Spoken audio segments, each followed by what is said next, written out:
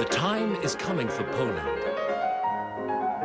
Four days to 2010, the year of Chopin. Celebrated in Poland.